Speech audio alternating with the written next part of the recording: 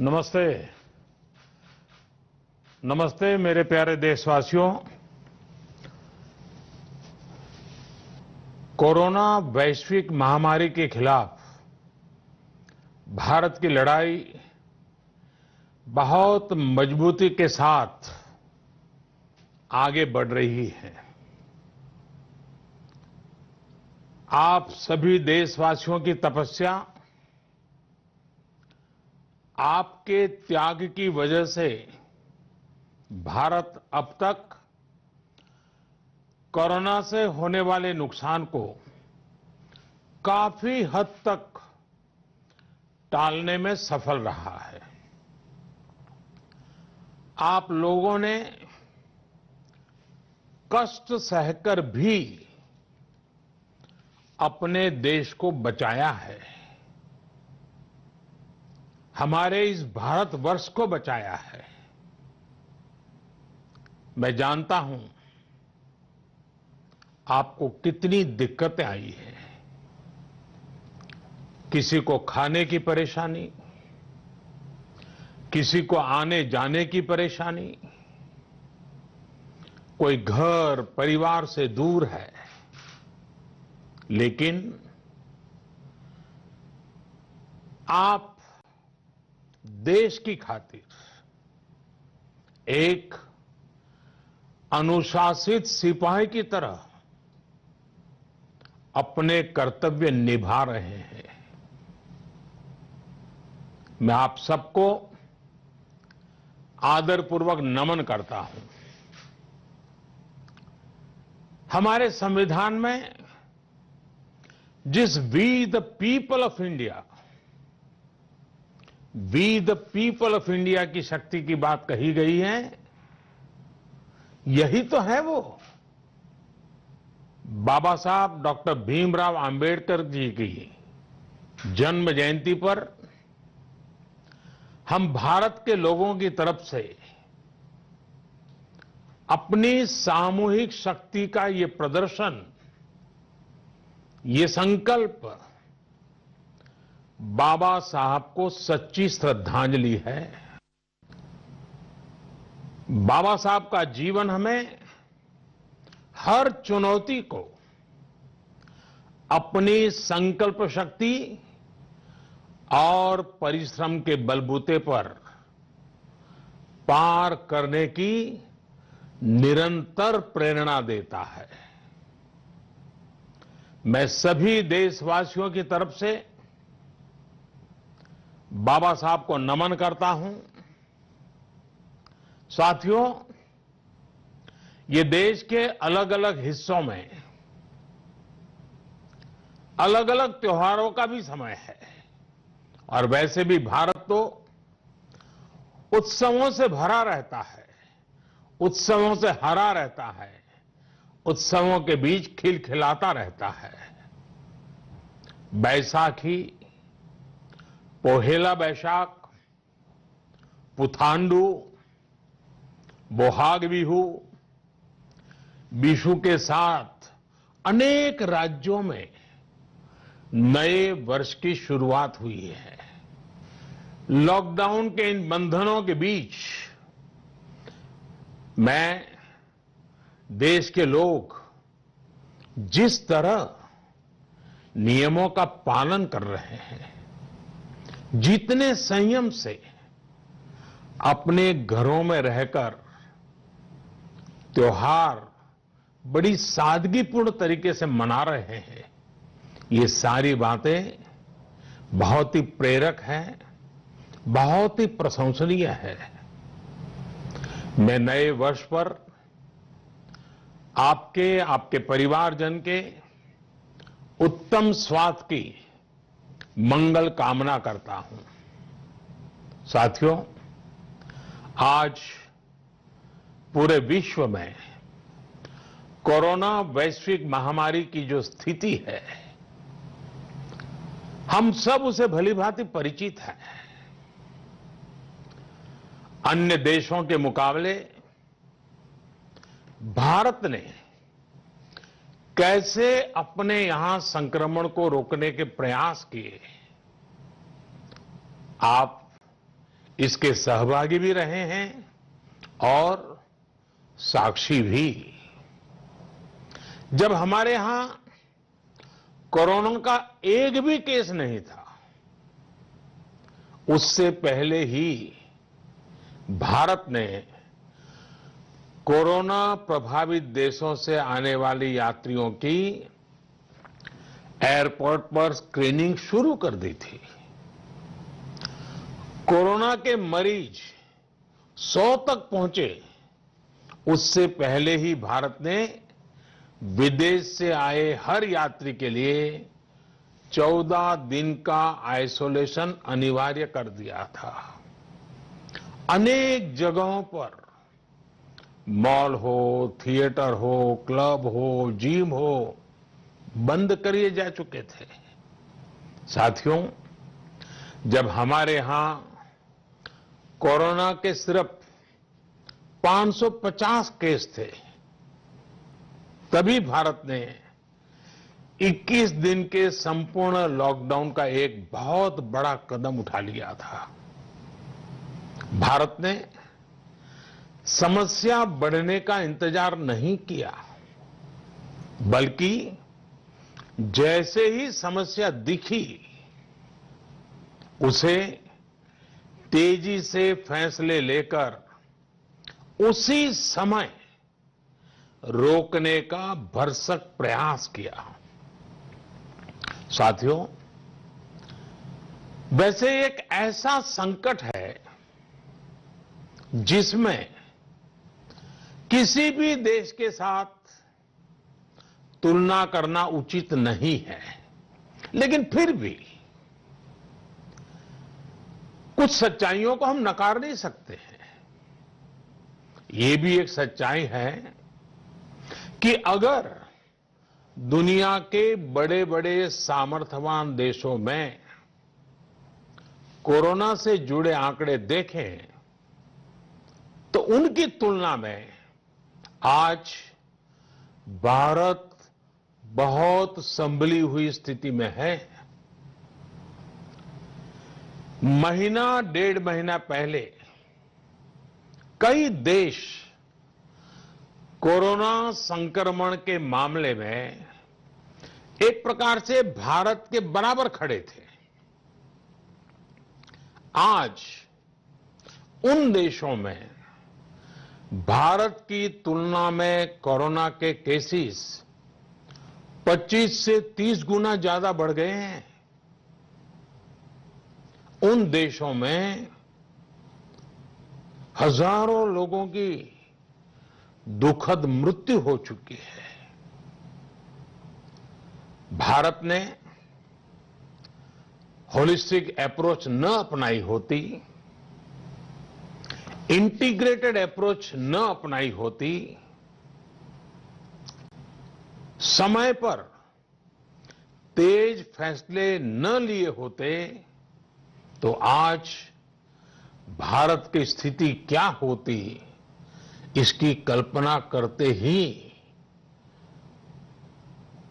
रुए खड़े हो जाते हैं।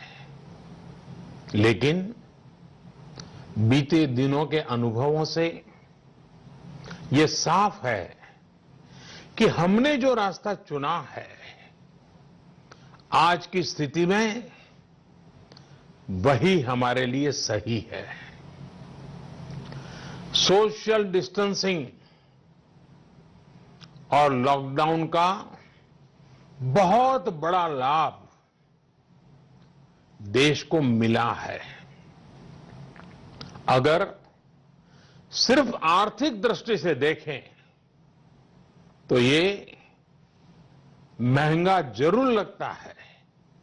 बहुत बड़ी कीमत चुकानी पड़ी है, लेकिन भारतवासियों की ज़िंदगी के आगे इसकी कोई तुलना नहीं हो सकती।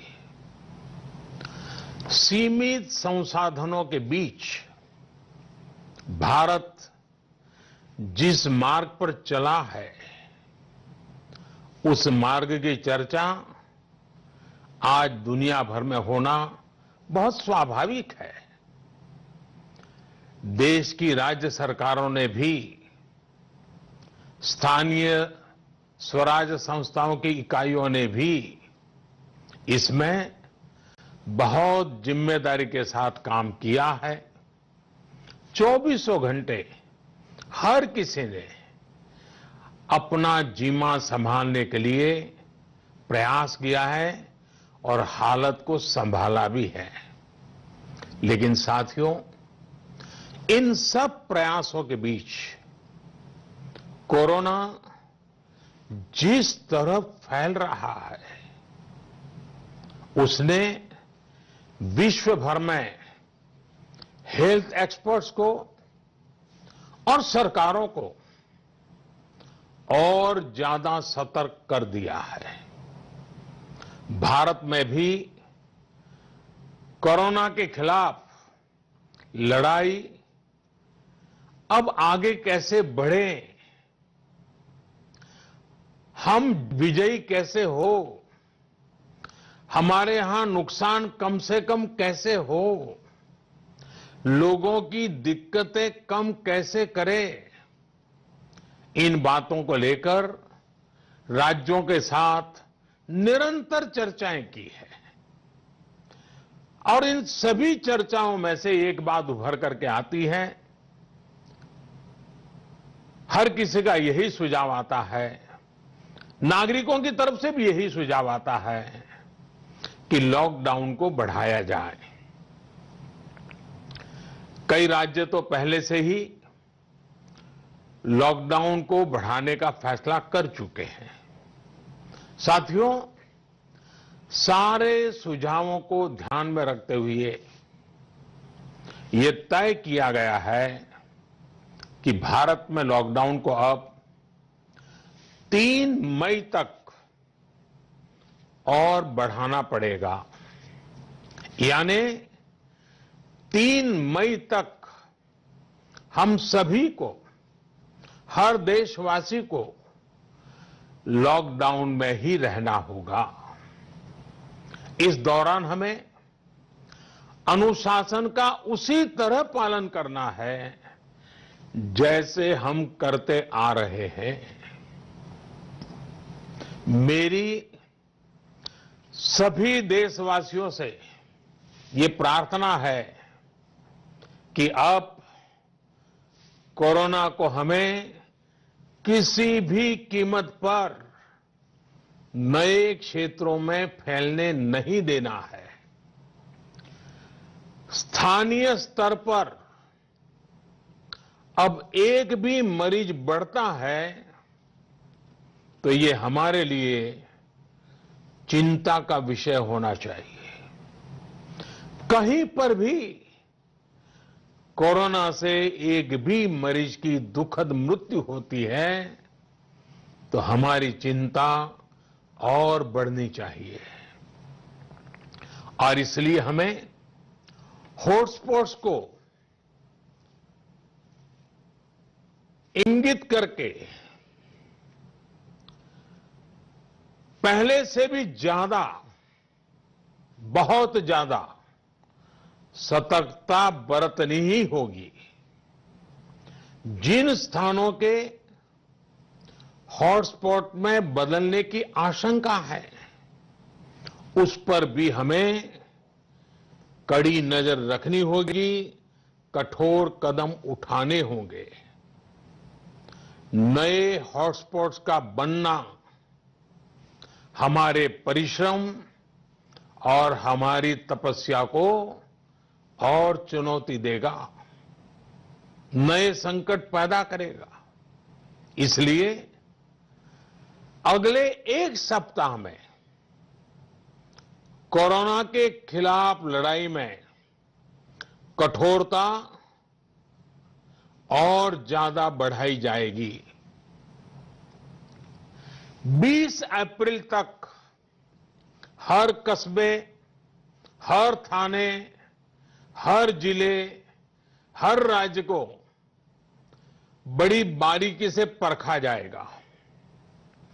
वहाँ लॉकडाउन का कितना पालन हो रहा है, उस क्षेत्र ने कोरोना से खुद को कितना बचाया है, इसका मूल्यांकन लगातार किया जाएगा। जो क्षेत्र इस अग्नि परीक्षा में सफल होंगे, जो अपने यहाँ हॉटस्पॉट नहीं बढ़ने देंगे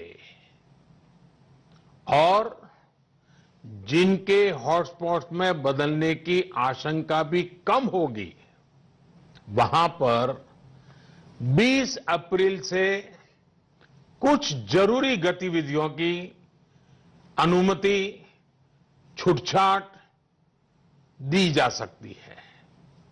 लेकिन याद रखिए, ये अनुमति सशर्त होगी। बाहर निकलने के नियम बहुत सख्त होंगे। लॉकडाउन के नियम अगर टूटते हैं और कोरोना का पैर हमारे इलाके में पड़ता है तो सारी अनुमति तुरंत वापस ले ली जाएगी। और इसलिए न खुद कोई लापरवाही करनी है और न ही किसी और को लापरवाही करने देना है। मेरे देशवासियों कल इस बारे में सरकार की तरफ़ से एक विस्तृत गाइडलाइन जारी की जाएगी। साथियों 20 अप्रैल से चिन्हित क्षेत्रों में इस सीमित छूट का प्रावधान हमारे गरीब भाई बहनों की आजीविका को ध्यान में रखते हुए किया गया है। जो रोज कमाते हैं, रोज की कमाई से अपनी जरूरतें पूरी करते हैं, वही मेरा एक बृहद परिवार है। मेरी सर्वोच्च प्राथमिकताओं में एक, इनके जीवन में आई मुश्किल को कम करना है। प्रधानमंत्री गरीब कल्याण योजना के माध्यम से सरकार ने उनकी मदद करने का हर संभव प्रयास किया है। अब नई गाइडलाइंस बनाते समय भी उनके हितों का पूरा ध्यान रखा गया है। इस समय रबी फ़सल की कटाई का काम भी जारी है। केंद्र सरकार और राज्य सरकारें मिलकर प्रयास कर रही हैं कि किसानों को कम से कम दिक्कत हो। साथियों, देश में दवा से लेकर के राशन तक पर्याप्त भंडार है।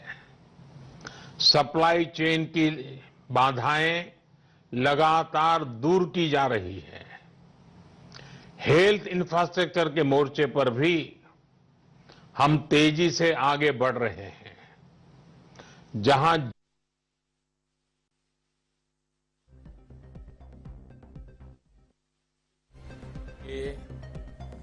सिर्फ़ एक लैब थी। वही अब 220 से ज़्यादा लैब्स टेस्टिंग का काम कर रही है। विश्व का अनुभव ये कहता है कि कोरोना के 10,000 मरीज़ होने पर 1500-1600 बेड्स की ज़रूरत होती है। भारत में आज हम एक लाख से अधिक बेड्स की व्यवस्था कर चुके हैं। इतना ही नहीं 600 से भी अधिक ऐसे अस्पताल हैं जो सिर्फ़ कोविड के इलाज के लिए काम कर रहे हैं। इन सुविधाओं को और तेज़ी से बढ़ाया जा रहा है। साथियों, आज भारत के पास भले सीमित संसाधन हो, लेकिन मेरा भारत के युवा वैज्ञानिकों से विशेष आग्रह है कि विश्व कल्याण के लिए, मानव कल्याण के लिए, मेरे नौजवान साथियों, आप आगे आए। कोरोना की वैक्सीन बनाने का मेरे देश के नौजवान, मेरे देश के वैज्ञानिक बेड़ा उठाए। साथियों, हम धैर्य बनाकर रखेंगे, नियमों का पालन करेंगे तो कोरोना जैसी महामारी को भी परास्त करके ही रहेंगे। इसी विश्वास के साथ मेरी बात समाप्त करने से पहले मैं आपका साथ मांग रहा हूँ। सात बातों में आपका साथ। पहली बात, अपने घर के बुज़ुर्गों का विशेष ध्यान रखें। विशेषकर ऐसे व्यक्ति जिन्हें पुरानी बीमारी हो, उनकी हमें एक्स्ट्रा केयर करनी है। उन्हें कोरोना से बहुत बचाकर रखना है। दूसरी बात लॉकडाउन और सोशल डिस्टेंसिंग की लक्ष्मण रेखा का पूरी तरह पालन करें। घर में बने फेस कवर या मास्क का, और वो भी घर में बने हुए, उनका अनिवार्य रूप से उपयोग करें। तीसरी बात अपनी इम्यूनिटी बढ़ाने के लिए आयुष मंत्रालय द्वारा जो निर्देश दिए गए हैं, उसका अगर हम पालन करें, गर्म पानी है, काढ़ा है, इनका निरंतर सेवन करें। चौथी बात, कोरोना संक्रमण का फैलाव रोकने में मदद करने के लिए आरोग्य Setu mobile app Aarogya Setu mobile app ज़रूर डाउनलोड करें। दूसरों को भी इस ऐप को डाउनलोड करने के लिए प्रेरित करें। पांचवी बात, जितना हो सके उतने गरीब परिवार की देखरेख करें। उनके भोजन की आवश्यकता पूरी करें। छठी बात आप अपने व्यवसाय, अपने उद्योग में, अपने साथ काम करे लोगों के प्रति संवेदना रखें, किसी को नौकरी से न निकाले। सातवीं बात, देश के कोरोना योद्धाओं, हमारे डॉक्टर, नर्सेस, सफ़ाई कर्मी पुलिसकर्मी ऐसे सभी लोगों का हम सम्मान करें आदर पूर्वक उनका गौरव करें। साथियों,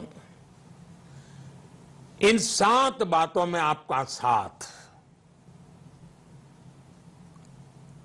ये सप्तपदी विजय प्राप्त करने का मार्ग है।